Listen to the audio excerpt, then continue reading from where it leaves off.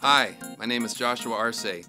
I'm running for the San Francisco Board of Supervisors in District 9, representing the Mission, Bernal Heights, Portola, and St. Mary's Park. I'm running for supervisor because City Hall has failed our neighborhoods. We have seen rising rents, an increase in evictions, homeless residents suffering on our streets, a lack of trust between our police and communities of color, inadequate transportation options, far too many destructive fires, and a loss of our longtime businesses. Unfortunately, I believe we've seen the best of what the status quo in City Hall can do, and we deserve so much better. By way of background, like so many of us, I'm the product of immigrants. My great grandfather came from Mexico to work in the fields in hopes that our family would have a better life. Nearly 20 years ago, I moved to San Francisco to go to law school, and I became a civil rights attorney fighting for tenants who were being evicted, those who were losing their jobs, and victims of police brutality. As a civil rights attorney, I eventually founded my own nonprofit, Brightline Defense, and we worked to shut down San Francisco's last remaining dirty power plant and guarantee jobs for our local community members.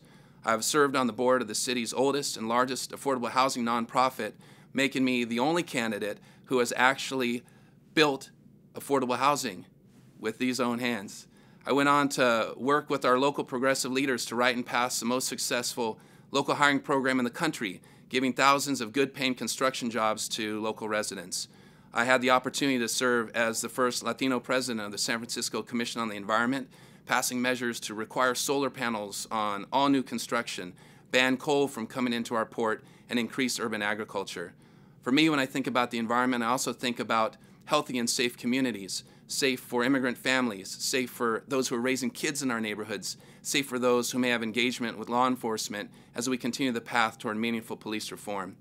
As a member of the San Francisco Democratic Party, I also passed resolutions supporting gun control, San Francisco's status as a sanctuary city, increasing affordable housing, community-based policing, and open source voting. I'm also your neighbor.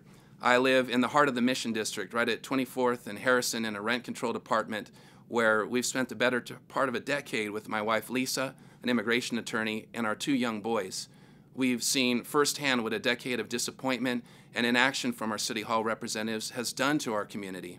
A decade of building no affordable housing has led to a severe affordability crisis and a homelessness epidemic.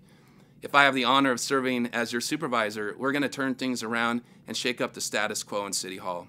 My number one priority will be to build affordable housing, affordable for all of us. That's why last month I announced a bold new proposal to not only build much needed housing, but to use those resources to fund a brand new BART station at 30th and Mission. Our plan will be to deliver housing for everyone. Also, to protect tenants, we need to continue to push the state to reform the Ellis Act and Costa-Hawkins. For our homeless residents to get them into permanent housing, we need to build more of this affordable housing and also be smart about how we use existing funds. I support the Navigation Center model and efforts to expand this model throughout the city. We also have to fight income inequality by ensuring that local residents and disadvantaged workers have access to the best jobs created in this booming economy. As I mentioned, I champion the, the, local hiring policy that guarantees thousands of construction jobs for local residents, including formerly incarcerated workers and limited English speakers. As supervisor, I'll work to expand this program into the technology and healthcare sectors as well. In addition to proposing the brand new BART station, I've also announced plans to make sure that pedestrians, cyclists, and drivers can get around the streets safely. As you're deciding who you want to represent you in November, you have a choice between maintaining the status quo that's been running City Hall for all these years or electing a proven progressive Democrat with a fresh outlook who can hit the ground running on day one.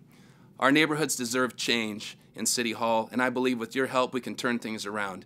I want to thank you for taking the time to watch this video. If you want to learn more, please visit our website at joshuaarce.com. But I hope that you will join Lieutenant Governor Gavin Newsom, Secretary of State Alex Padilla, California State Senate Pro Tem Kevin De Leon, Board of Equalization Chairwoman Fiona Ma, Democratic Party Chair John Burton, firefighters, the Alice B. Toklas LGBT Democratic Club, Latinos Unidos, and the District 9 Tenants Alliance, as well as hundreds of community leaders who are supporting my campaign.